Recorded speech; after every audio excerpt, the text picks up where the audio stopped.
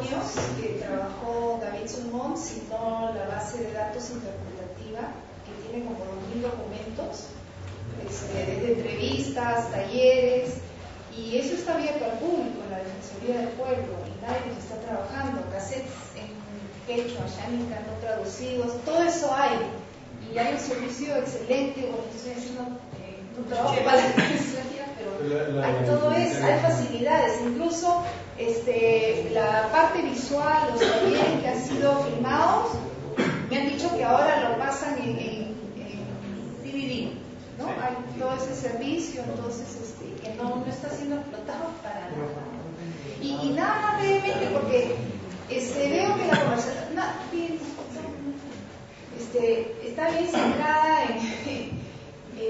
en, toda una terminología que alude más a la zona andina que a selva. ¿no? En selva no podemos hablar, es decir, si hablamos de cambios, no hay ningún poder local que fue afectado, porque no había poder local, no podemos hablar de sociedades, no podemos hablar de organización, porque no había organización, era otra lógica completamente distinta. Entonces, ¿cuánto nos falta para avanzar? ¿no?